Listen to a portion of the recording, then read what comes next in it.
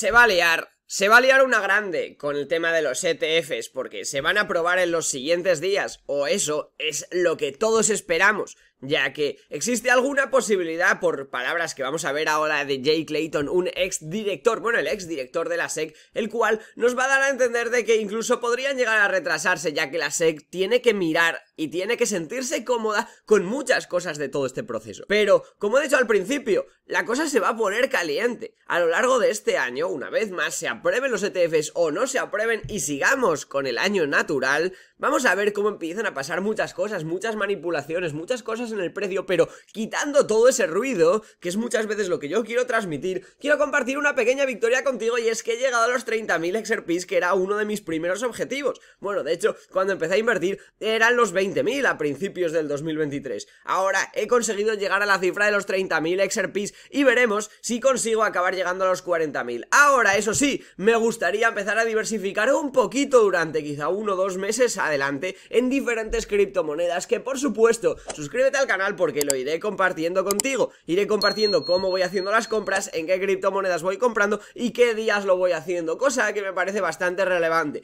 Ahora bien, haciendo referencia a esta imagen, que parece la imagen de nunca acabar a este pequeño GIF, donde estamos en una zona de soporte respecto al precio de XRP y a partir de aquí debería irse hacia las nubes. Siempre nos dicen eso, siempre estamos esperando que el precio de XRP se vaya a las nubes y en algún momento acabará, acabará sucediendo, sí, estoy seguro de ello. Ahora tenemos este otro clip de este, este chaval que es muy inteligente, es un desarrollador que ya he traído otras veces al canal, un desarrollador para XDC, que está hablando ahora directamente de la XRP Ledger. Y fijaros lo que dice. Muchas cosas tienen bastante solapamiento y no me malinterpretéis. Hay algunas cosas que no se tratan solo de prueba de participación o de prueba de trabajo, pero eso no es lo que la hace especial.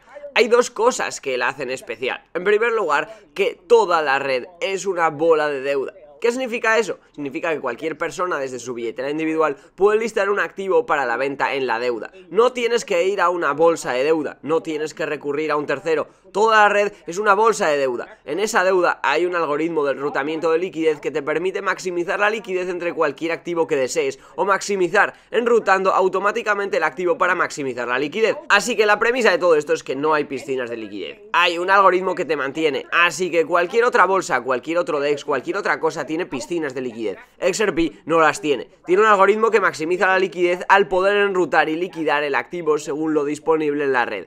Esas son las dos cosas que hacen a XRP increíble. Ahora puedes hablar de velocidad, puedes hablar de que no es prueba de trabajo, puedes hablar de todo eso también. Pero esas dos cosas, el hecho de que toda la red sea una bolsa de deuda y que haya un algoritmo que maximiza la liquidez en esa bolsa de deuda, son las dos cosas más importantes. Y cuando la gente habla de remesas transfronterizas, monedas sin problemas, eso permite la liquidez instantánea de cualquier activo como si fuera efectivo. ¿Ves a lo que me refiero? Antes de seguir 10 segundos, quiero hacer referencia a Bitbabo, un patrocinador del canal, un exchange centralizado con sede en Holanda que está cumpliendo con todas las regulaciones y normativas para cumplir con las regulaciones MICA a finales de este año. Es, bajo mi punto de vista, si no es el exchange, es uno de los exchanges más seguros que puedes utilizar a día de hoy. Yo además te dejo un enlace para registrarte en este exchange en Bitbabo y si lo haces desde ahí y haces Casey, tienes 10 euros de regalo para lo que tú quieras. Charles Gasparino, que recordemos que Charles Gasparino es el jefe de Eleanor Terret, que vimos el otro día que estaba haciendo referencia a que la supresión del precio de XRP efectivamente era real, pues este es su jefe, un Bitcoin Maxi, está hablando acerca de ciertos recortes que va a hacer BlackRock, que va a recortar el 3% de su fuerza laboral con despidos, y como la empresa, bueno, y está esperando la aprobación del ETF de la SEC, quizá dependa de que la SEC apruebe este ETF para seguir manteniendo a ciertas personas en plantilla. No lo sabemos, aún así ha sido un año muy positivo para diferentes gestoras de capital y para diferentes bancos que están ganando, la verdad, un montón de dinero viendo sus balances y sus cuentas.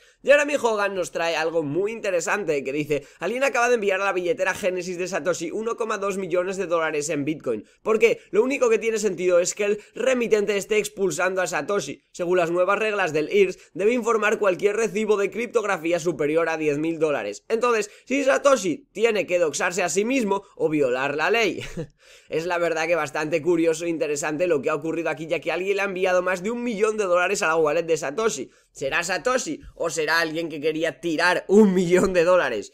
pero ¿por qué casi 1,2 millones de dólares en vez de 10.000, que era lo que dice la regla? Por lo tanto, no se puede argumentar que no se dio cuenta de la transferencia. Es posible que te pierdas 0,2 bitcoins, pero más de 26 de ninguna manera, ¿vale? No es el mejor argumento, pero estoy intrigado como dicen los niños. Y a lo que aquí le había comentado em, era David Swatch. Voy a ver si encuentro el comentario. No, la verdad que llevo bajando un rato y no consigo volver a encontrar el comentario de David Swatch, pero realmente era bastante interesante lo que decía referente a estos 26 bitcoins perdidos, 26 bitcoins quemados. Cosa que hace referencia a algo que ha pasado también hace unos días sin más, que dice actividad sospechosa rastreada en la billetera de Jeff McCallum, en la billetera de XRP de Jeff McCallum, recordemos que es uno de los cofundadores de Ripple Último conjunto de retiros de Jeff fue el 17 de julio de 2022. Sin embargo, alguien está en esta billetera ha estado intentando retirar XRP sin éxito, ya que el saldo de XRP está agotado. La última transacción saliente el 17 de julio de 2022, aproximadamente 1,1 millones de XRP. Después de eso, la transacción de eliminación de la cuenta se podrá ver el mismo día, es decir, 17 de julio de 2022. Las transacciones salientes exitosas antes del 17 de julio de 2022 fueron liquidadas en dólares estadounidenses a través de Bitstamp por Jeff McCallum.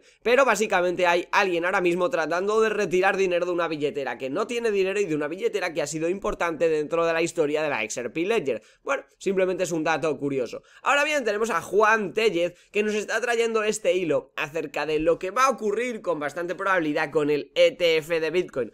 Ayer vi un influencer en YouTube diciendo una barbaridad sobre el ETF de spot de Bitcoin. Me veo la obligación de hacer un hilo en fin de semana para explicar algo. Nada en contra de este influencer. Tenía más de 10.000 visitas por vídeo y comunicaba bastante bien, pero cometí un error de concepto. Explicaba que el efecto de la aprobación del ETF de spot de Bitcoin sería un sell de news. Lo justificaba haciendo una comparación con la regulación de los futuros del Bitcoin, del CBOE y del CME. Esto ocurrió en diciembre de 2017 y permitió a instituciones por primera vez exponerse al precio de Bitcoin. Esto fue lo que pasó cuando se aprobó, que el precio cayó. Coincidió con un ATH del ciclo de Bitcoin, aunque dudo que tuviera nada que ver con la caída de su precio. Antes de continuar, bueno, bla bla bla. En el caso de cuando compras o vendes futuros de Bitcoin, no ejerces presión de compra o venta en el activo subyacente. Esto no quiere decir que los futuros no puedan tener efecto en el precio de Bitcoin, sí que puede tener y lo tiene. Pero algo muy importante sobre los futuros es que no hay alcistas ni bajistas sino que todo el mundo es alcista y bajista al mismo tiempo, ¿me explico? Si tú compras futuros esperando que el precio suba, en algún momento tendrás que vender, y si no lo haces te forzarán por, eh, por contra por ello, es decir, ejercerás presión de compra pero también presión de venta. Si tú vendes futuros esperando que el precio baje, en algún momento tendrás que comprar, y si no lo haces te forzarán a ello por contrato, es decir, ejercerás presión de venta pero también de compra.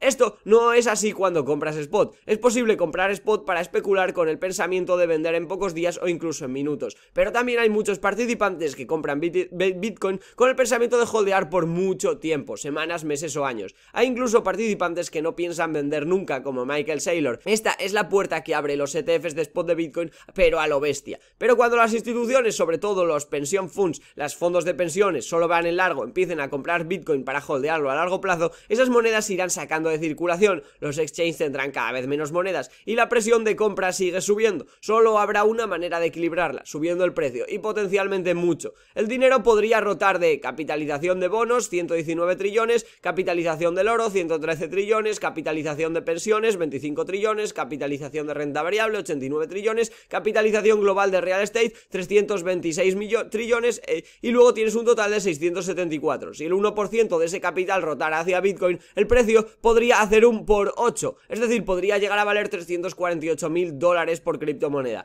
Y si el 5% de ese capital rotara hacia Bitcoin, el precio podría hacer un por 40, es decir, llegar a valer más de un millón y medio de dólares. Esto sin tener en cuenta la impresión de dinero extra que vendrá en los próximos meses y años. No hay duda de que grandes capitales fluirán hacia Bitcoin. La duda ahora es saber cuánto exactamente y cómo de rápido lo hará. Esto lo hemos visto por cómo está configurado el ETF. Va a tardar unos meses en empezar a hacer efecto de lo que Juan Tellez está hablando. Y con esto no quiero decir que el precio de Bitcoin vaya a subir justo después de la aprobación del ETF de Spot. Solo creo que es importante tener claros los conceptos y saber por qué el ETF de spot podría llegar a ser tan importante. La verdad, un clip, bueno, un clip, eh, un hilo bastante interesante, me ha gustado leerlo y espero que hayamos aprendido todos juntos. Aquí tenemos palabras del ex director de la SEC, Jay Clayton, que recordemos que además justo es la persona que demandó a Ripple y al día siguiente abandonó su cargo dimitiendo. Bueno, bastante sospechoso, bastante sospechosa esta persona, lo hemos analizado, está muy metido en todo el tema del Ethergate y hoy y ahora está hablando sobre el ETF de Bitcoin, todo tuyo. Así que parece que hay una especie de presión a corto plazo sobre la SEC en términos del enorme aumento en Bitcoin y la idea de que si no aprueban esto ahora, después de toda esta expectativa, muchas personas van a perder mucho dinero en los mercados de Bitcoin. Pero también hay esa especie de preocupación a largo plazo sobre la protección del inversor, ¿correcto? Porque si hablamos de personas invirtiendo ahora sus fondos de jubilación en un ETF de Bitcoin y Bitcoin ha sido un elemento increíblemente volátil, ves estas enormes oscilaciones épicas que no ves en otras clases de activos. Se habla de que las personas podrían perder sus fondos de jubilación a largo plazo. Entonces, ¿cómo equilibras esas dos cosas mientras la SEC examina esto?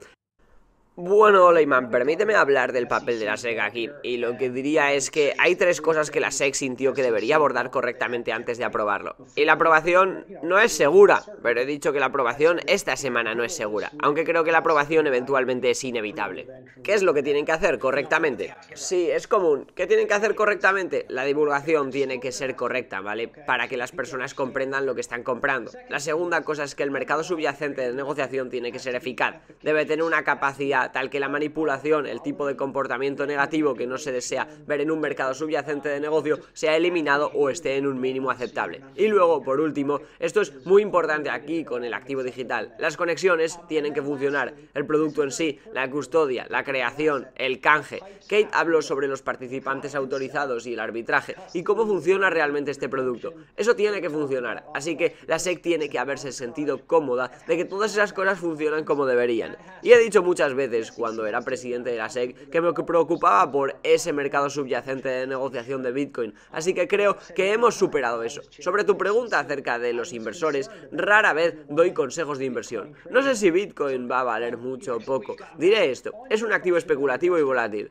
Ningún buen asesor de inversión o corredor de bolsa le dirá que ponga una parte sustancial de sus activos de inversión en un solo activo volátil o especulativo. Yassin Mubarak nos trae lo siguiente haciendo referencia a las palabras de Jay Clayton. Clayton bloqueó el ETF de Bitcoin al contado durante su mandato como presidente de la SEC durante la administración de Trump porque en ese momento no había conseguido sobornos ni acuerdos secretos. Ahora que lo ha hecho, está totalmente a favor de aprobar el ETF al contado de Bitcoin. Él es corrupto. Básicamente podríamos decir que esta es la transcripción del vídeo que te acabo de dejar. Y bueno, básicamente, con el precio de XRP en una zona un poco extraña, voy a tratar, si me lo pedís mucho en los comentarios, aunque no me lo pidáis también, voy a tratar de traer mañana o pasado a Gabriel Montalto para salir de dudas con el próximo movimiento brusco de los precios, ya que tengo bastante curiosidad, ya que creo que, bueno, básicamente ahora dependemos mucho de lo que pueda hacer el ETF, pero bueno, básicamente ahora ya he llegado al objetivo, a los 30.000 XRPs que me había marcado, ahora vamos a tratar de ir comprando también otras criptomonedas, sabéis que tengo en el punto de mira HBAR,